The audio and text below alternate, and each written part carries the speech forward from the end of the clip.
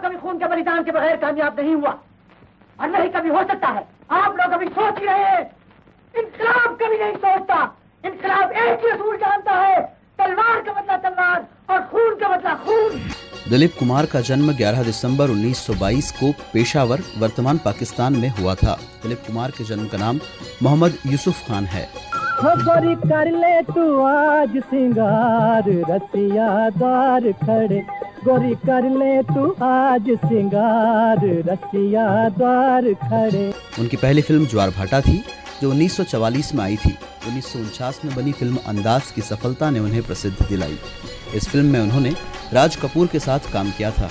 ये फूल सिर्फ़ आप पर ही खिलता है राजन बाबू। जी आप तो तकल्लुफ करते हैं। साहब मुझसे ज़्यादा ये आप पर सजता है।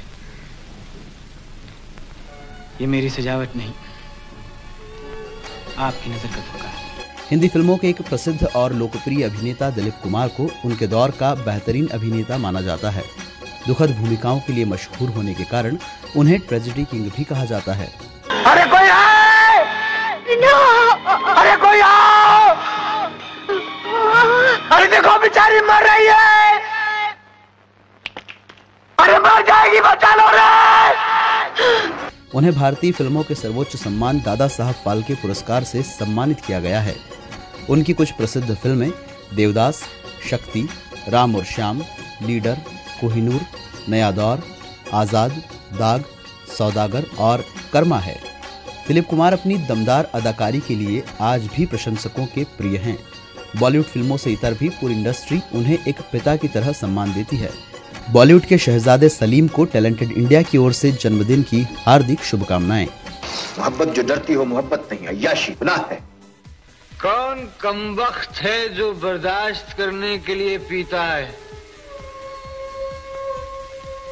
मैं तो पीता हूँ कि बस सांस ले सकूँ। कुल्हाड़ी में लकड़ी का दस्ता न होता। तो लकड़ी के कटने का रास्ता न होता। जब पेट की रोटी और जेब का पैसा छिन जाता है ना तो कोई समझ मज नहीं रह जाती आदमी के पास। जब इस देश में तुम जैसा राक्षस आएगा मिटा के रख देगा उसे। इस देश का ये तिरंगा और शेर को अपने बच्चों की हिफाजत के लिए शिकारी कुत्तों की ज़रूरत नहीं। मैं तुम्हारी आँखों में मोहब्बत का करार देखना चाहता हूँ।